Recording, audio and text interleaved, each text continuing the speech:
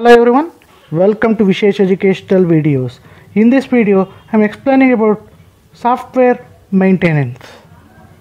Software maintenance means once the software got uh, delivered to the customer, what are the things you should take care of, right?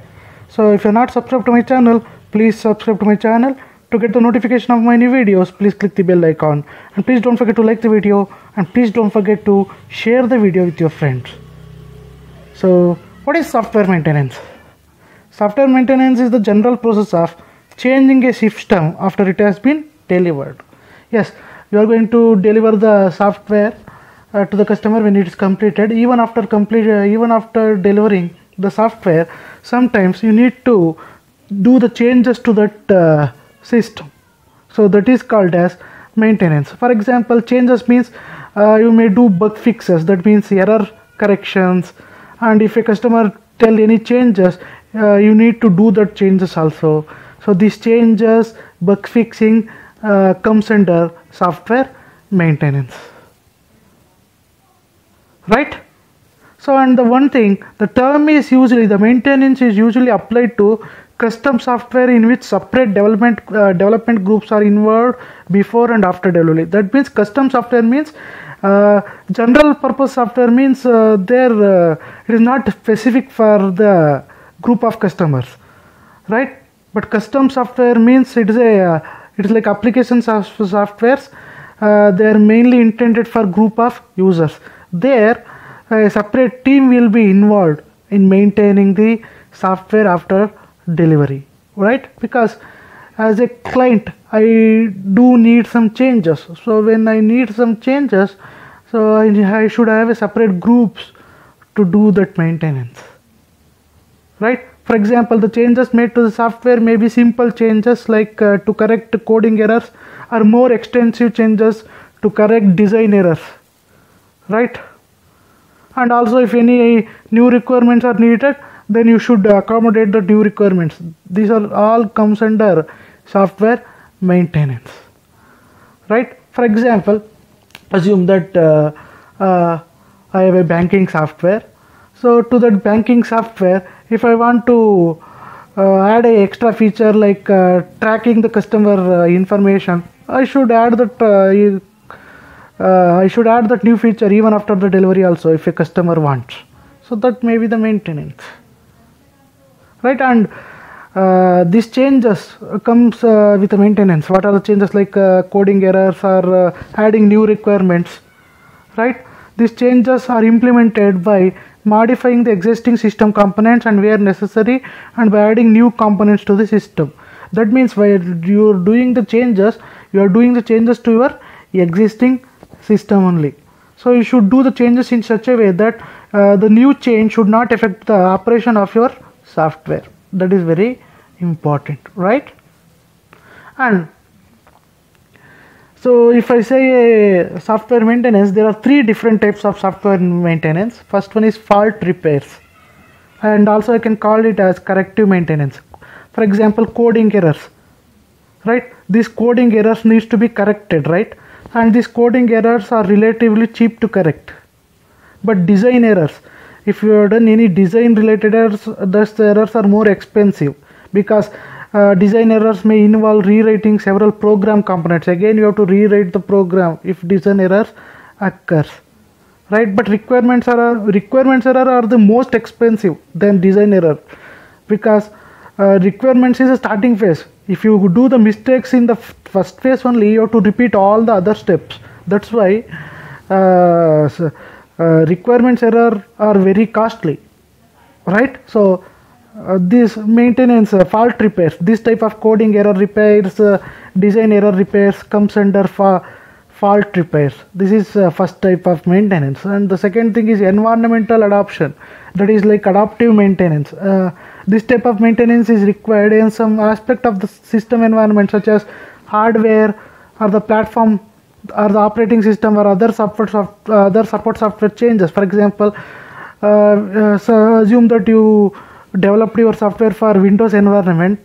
Uh, now you want to uh, made the you want to make that software compatible to unix also. Uh, this, this may be called as adaptive maintenance because the environment is changed from windows to unix. Now you have to change your software from operating to windows to unix. Though, so this comes under the adaptive maintenance. So the application must be modified to adapt it to cope these environmental changes. Even if you do these changes environmental changes you should your software should be in a position to run without any problem. Even if it's uh, for example i told you right uh, even if it's in linux also it should run or even if it's in windows also your software should run right? And the next changes uh, functionality additions. I told you functionality addition means this can be also called as perfective uh, maintenance. That means if a customer wants to add the new functionality if a customer wants to add the new feature right you should be in a position to add that feature to your software. So i told you this type of maintenance is necessary when the system requirements change in response to organizational or business changes. In simple words if a customer wants to add new requirements so if in a uh, right uh, if a customer wants to add new features then you should be in a position to add that features right? That is also comes under maintenance. Even if your software is delivered already some errors may be there some changes you want to add. So you need to uh, do the maintenance of the software. Once it is delivered it's not finished. After delivery also you need some changes you need to error, fix some errors. Suppose if you want to do some environmental changes you have to do that right? So maintenance comes under uh, comes after delivery of the software. And one more important thing maintenance budget. Maintenance budget is spent on implementing new requirements than on fixing bugs uh, bugs. Because fixing bugs is relatively cheaper you know that. Maintenance means most of the times it is spent on implementing new requirements. It is used to add new requirements. Right? For example this uh, diagram shows the distribution of maintenance costs. See for example see here fault repair. To do the fault repair of your software 17% of the maintenance cost will be uh, spent. For environmental adoption 18% of the cost will be sent uh, spent. But functionality addition that means to add the new feature to add a new requirement almost 65% of the maintenance cost is sp- sp- uh, spent. So by looking at this you can understand that so maintenance means most of the times it will be uh, fault repair and environmental adoption maintenance costs are very less compared to the functionality addition. So most of the maintenance cost is spent on functionality addition. Because of some business changes our customer wants it uh, we need to add that features to our software right? And one more important thing it is usually more expensive to add functionality after a system is in operation. That means uh, if you want to add a extra feature after it is delivered to the customer the cost to add that extra feature to your software will be very much higher. Why? There are some reasons why there uh, the cost to add the extra feature to my software is costlier. Why means first reason team stability.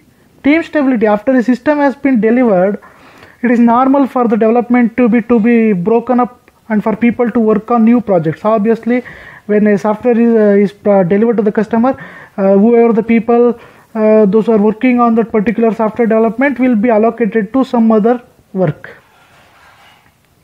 Right and the new team or the individual responsible for system maintenance do not understand the system or the background to the system design decisions.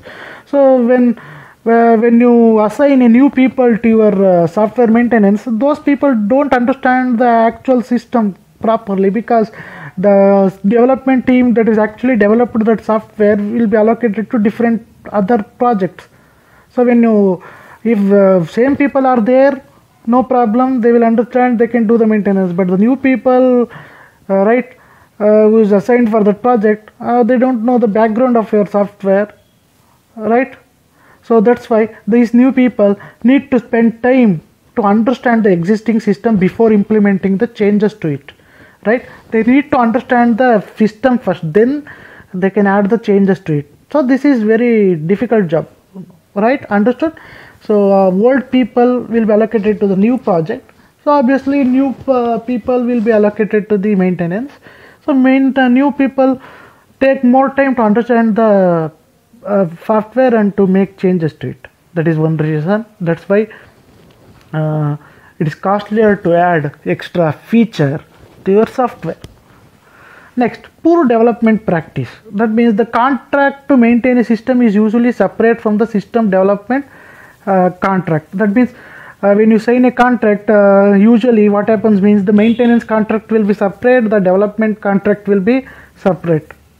Right? The maintenance contract may give uh, may be given to a different company rather than the original system developer.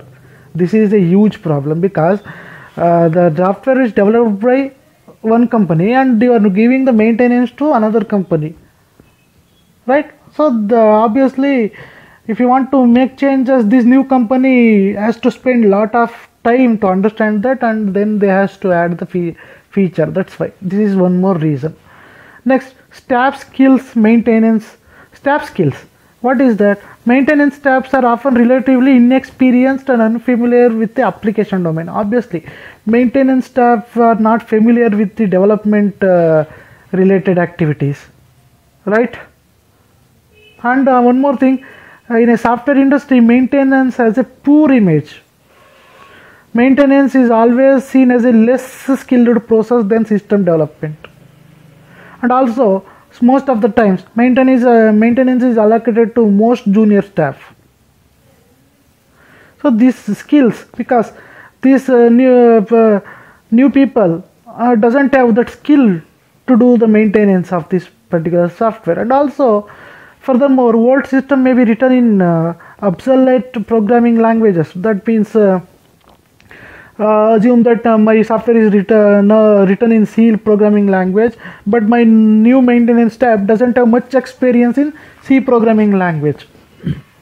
So this may be the problem because the maintenance staff doesn't have much experience in this particular languages. This is also a reason. And lastly program age and structure program age and structure. As changes are made to the programs their structure tends to degrade obviously. When you do the sorry uh, when you do the changes to the program obviously the uh, structure of the program uh, right changes. And also as programs age they become harder to understand and change. Some system may have been developed without modern software engineering techniques. Assume that uh, you have developed the software 15 years back now if you want to do the changes to that software it will be very difficult right? So that is the reason uh, the maintenance will be harder right? So that's it guys. Hope you understood the concept. Suppose if you have any doubts please post your doubts in the comment section. Thank you. Thank you for watching the video